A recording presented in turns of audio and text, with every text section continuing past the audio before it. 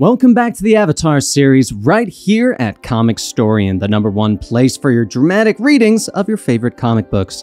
I'm your narrator, Dan, and today we're going to be concluding Avatar The Last Airbender Imbalance, Part 3. Everyone stands in shock at what Toph just said.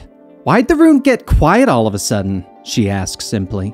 Katara comes down, shocked that Toph would even suggest taking away Li Ling's bending abilities. But Toph explains that it makes perfect sense. Li Ling has attacked her father's factory and the non-benders of Cranefish Town. She can't lead a bunch of bender supremacists if she's not a bender anymore, Toph explains. Katara glares at Toph, and the young earthbender asks why Katara would be so mad at the suggestion. It's removing a part of who they are. It's not a decision to be made lightly, Katara tells her. Suki and Sokka chime in, telling Aang that the other benders of the city might be upset that Aang took it upon himself to take away Li Ling's bending. Everyone looks to him for an answer, but Aang just begins to walk towards Li Ling's cell. I'm going to talk to Li Ling. She might be willing to tell her followers to stop their attacks, he tells the group. Talk all you want, that lady isn't changing her mind. Toph calls to him. Aang sits before the cell. Li Ling speaks to him kindly enough, and Aang asks her what he can do to resolve the conflict between the benders and the non benders. She smiles at him, thinking that it's sweet that he continues to cling to the non violent ways of the air nomads. You even refused to take the life of the tyrant Fire Lord, even as he was attempting to burn the Earth Kingdom to the ground. Aang nods, reminding her that he did spare Ozai's life and save the Earth Kingdom.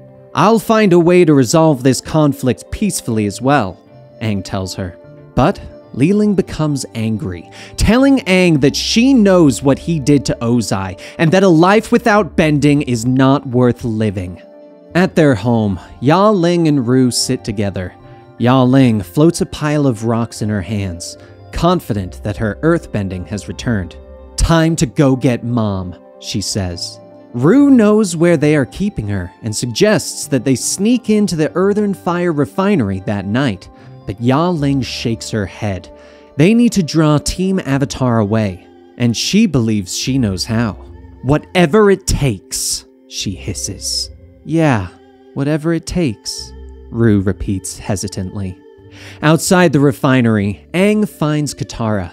As she has done so many times with him, he asks her what's the matter. Katara explains that she doesn't agree with Toph's suggestion that taking away someone's bending is the non-violent solution.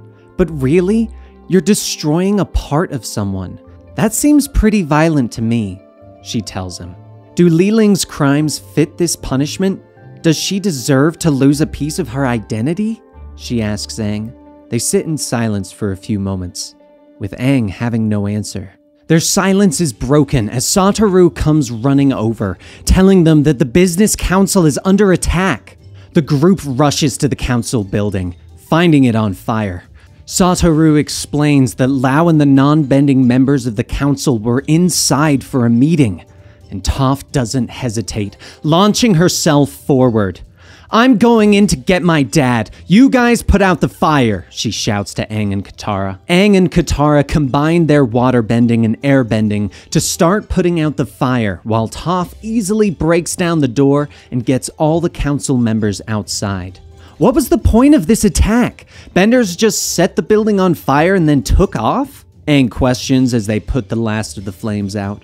At the Earthen Fire Refinery, Lao's guards shout for Suki and Sokka to warn the Avatar that a fight is coming. Ya Ling steps forward with her gang of benders, laughing that they left all the non-benders to guard her mom. Let's show them that they're nothing compared to us, she smirks. Ya Ling and her gang rush forward, with the Earthbender targeting Suki. Remember me? she asks, rushing forward. Sure, didn't Toph beat you up? Suki taunts. The Benders quickly separate Sokka and Suki from the rest of the security guards. Suki manages to use her shield to block the rocks that Ya Ling throws, but the pair is quickly trapped by Ya Ling's earthbending. Now stay put, Ya Ling laughs. One of the security guards tries to stop her, but his club and shield are no match, and he is quickly knocked down. Ya Ling retrieves the man's keys, quickly moving into the refinery and unlocking her mother's cell. The two hug, with Li Ling smiling. I knew you'd find a way to free me. Let's go home. We have a lot of work to do, she tells her daughter. By the time Team Avatar returns to the refinery, they only find the damage caused by the fight. Sokka, Suki, and the guards continue to patch up their wounds and bruises. Now we know what the business council attack was really about, Aang sighs. Katara moves forward to heal the head of the guards, and he notes that while they are well trained and have fought benders before, the mob completely overwhelmed us. Katara nods, frustrated that Li Ling always seems to be one step ahead of them, and the head of security nods and asks her a favor. Your friend, the Kyoshi warrior, do you think she'd teach my officers to chi block? Later, Suki and Katara approach their friends, and Katara explains that they want to be ready the next time that Li Ling's forces attack. I'm going to teach Lao's guards how to chi block, Suki explains. She knows that it'll take longer than one night to teach them, but at least they can get started on the basics. Okay, we'll need all the help we can get, Aang admits.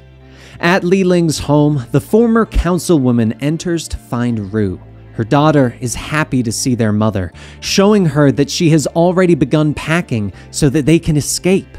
We are not going anywhere, Li Ling tells her daughter, refusing to leave in the night like they did when they fled Ba Sing Se. She becomes angry, questioning Ru on if she remembers what it was like to flee the city, why they had to, why it was so easy for the Fire Nation to infiltrate the Earth Kingdom. Because the Earth King was a non bender, Ru whispers. Li Ling nods, telling her that she won't allow non benders to ruin the life they have built in Cranefish Town. We're staying here. We're fighting for our home she concludes. Ru suddenly becomes angry, though, asking if her mother sees her as weak because she doesn't have bending abilities. Li Ling looks at her daughter, putting her hands on her shoulders. Ru, you must understand. I love you. I love you as much as your sister. But this is how the world works. Benders are powerful and non benders aren't. It's just how things are. And it's best for non benders to recognize that she tells her daughter. She tells her daughter to unpack their bags, that she will be taking a group in the morning to force the Avatar out. And with these words, she leaves her daughter in the hall. At the refinery, Suki watches as the security force continues through the training motions that she showed them. Aang and Sokka watch, discussing what they should do next. Aang is angry, believing that it was these machines that led to all the problems in the cities. But Sokka tells him that the machines didn't cause the fighting. If anything, it made the benders and non benders equal for once. Just like it wasn't the steamships or tanks that made the Fire Nation go to war. You have to blame it on the benders running around, burning buildings, and attacking non benders, Sokka explains. And Aang finally agrees, knowing that Sokka is right. He leaves his friend, planning on turning in for the night. But as Suki leaves her training, Sokka senses someone watching them. Suki and Sokka peer around the corner, finding Ru trying to slip away. Ru? Is there something you came here to tell us? Sokka calls her, and the young girl stops. I keep thinking about what you said to me in the cavern. How can I be okay with what my mom is doing? I love my mom and my sister, but the way they talk, the way they do things, I'm not okay with it. They're my only family. How could I turn against them? She says, turning back. Suki smiles, knowing that Ru wouldn't be here if she didn't believe what her family was doing was wrong. Sokka agrees, telling her the tale of how Zuko finally stood against his father. And hearing these words, Ru steps forward and tells them about the attack their mother is planning in the morning. We'll be ready for her, thanks, Suki tells her. Ru asks them not to hurt her mother or sister. Will you do me a favor? She finally asks. Will you teach me to chi block? The next morning, Aang stands ready upon the rooftop of the Earthen Fire Refinery. Looking down, he sees the metal walls they erected in a sort of maze. On the other side of the square, Li Ling appears with her army of benders. He lands on the ground as Li Ling and her army come forward from the streets of the city, and he stands before them, telling her that he won't allow her to harm anyone else. I have a very simple solution, Avatar. Leave the city and take the non benders with you. Cranefish Town will become a city of benders only. We deserve a space that belongs to us alone, she tells him. I can't do that, he informs her. Then I'll have to force you out, Li Ling shrugs, stomping the ground, sending a pillar of earth at Aang. But he leaps into the air, using his glider to fly back to the refinery roof. All the benders rush forward, moving through the metal maze. Stay sharp! The Avatar's probably got some traps set up for us in this maze! Someone shouts.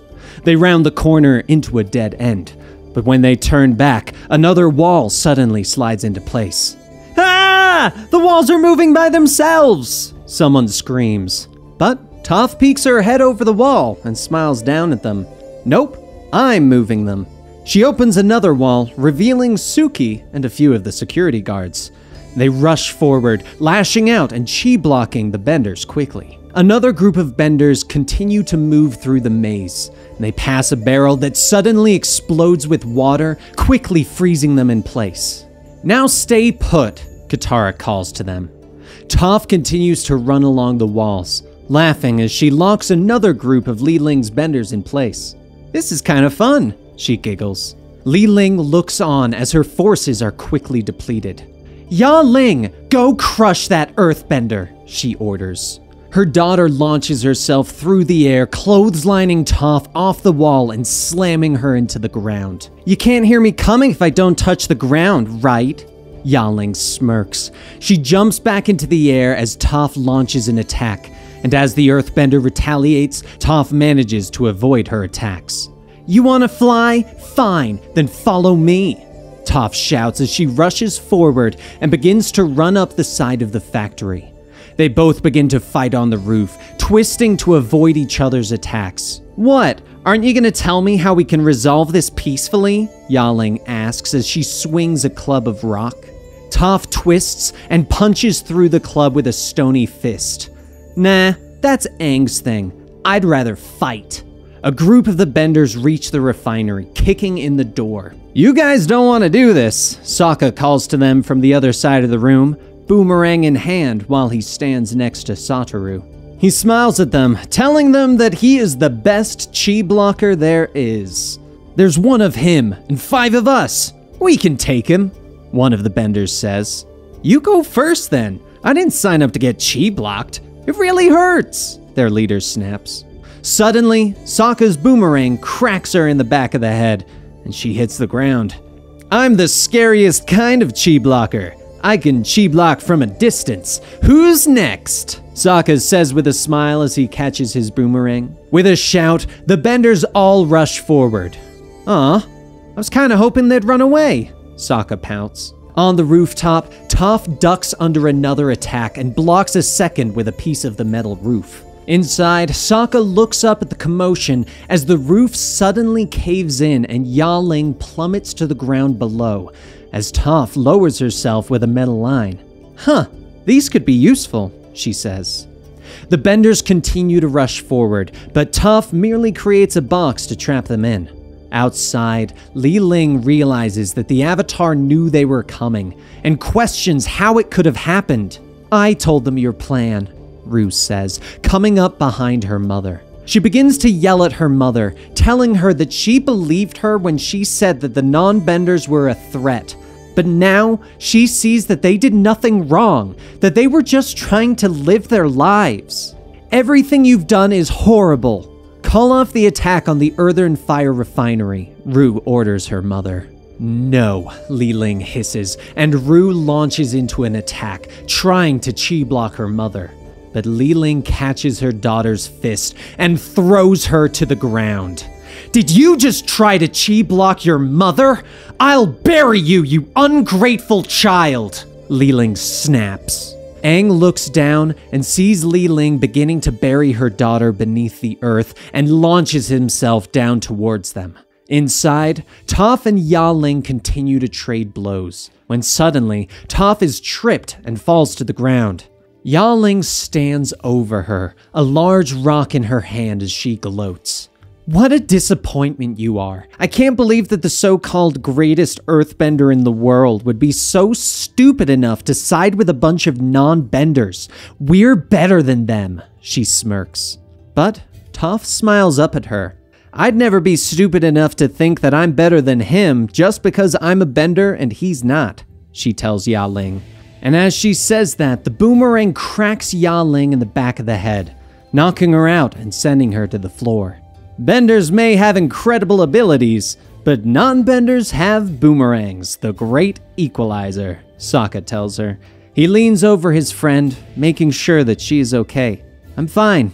Thanks for saving me, Toph tells him, lightly punching him in the arm. Outside, Aang swoops in, knocking Li Ling away with a blast of air and pulling Ru from the ground. But they both look up to see Li Ling standing over them, a massive boulder in her hands. She snarls at Aang, telling him that her message will spread and that the Benders will start to stand up against the non Benders. Maybe you'll win this battle, but you can't stop the coming war.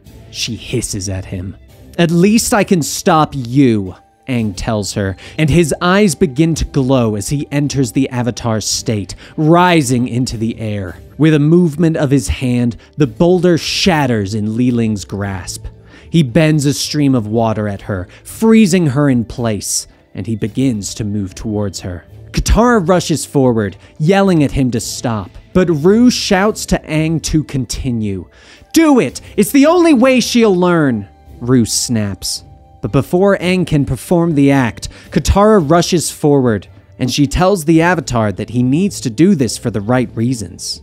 Not because it seems like the easy solution, or because you're angry she's hurting people. Make sure you know why you're doing this, Katara tells him.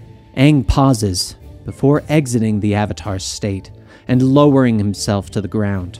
He looks at Li Ling angrily. I'm going to keep fighting the poison you've spread in Cranefish Town. You're the same as the pollution on the beach, and I'm not leaving until it's cleaned up, he tells her. And with these words, Aang swoops away to help finish the fight. You're a wretched, ungrateful child, Li tells her daughter. Maybe, but you're a terrible mother, Ru nods. Later, Suki and Aang speak with Boss Lao, letting him know that Suki and the rest of the Kyoshi warriors are planning on staying and training a non bender police force. Aang nods, reminding them that they need to find quality benders that are willing to protect the city as well. After everything that's happened, do you really think non benders and benders can work together to protect the city? Satoru asks. Aang and Suki look at each other. Absolutely, they say in unison. Three days later, Aang and Katara find themselves walking along the docks, and Katara asks Aang why he decided to not take away Li Ling's bending abilities. It was what you said about it being an easy solution. Taking away her bending wouldn't have fixed anything. It wasn't her bending that was the problem, it was her bigotry, Aang tells her. Aang tells Katara that he wants to stay in Cranefish Town for a while, that if they can overcome the problems here, it could become something truly special. I agree. I think this city needs you, Katara tells him as she takes his hand. I think it needs us. Aang smiles at her. They keep walking together, and Aang finally says, I also think this city needs a better name. Katara nods. I'll get Sokka on it right away. And that, my dear listeners, is the conclusion to Avatar The Last Airbender Imbalance, Part 3. I hope you guys enjoyed this video, and if you did, please be sure to subscribe to the channel, click that bell icon to get the notifications, like the video, and leave a comment down below. If you want to keep supporting ComicStorian, you can go over to our Patreon at patreon.com slash comicstorian, where for $2 you get access to early access content, podcasts, and much more. And if you want to find more of me, Dan T. Producer, you can find me on Twitter and Instagram at Dan T. Producer or on Twitch at Cyloo91, C-Y-L-O-O 91. Thank you guys so much, and I will see you next time.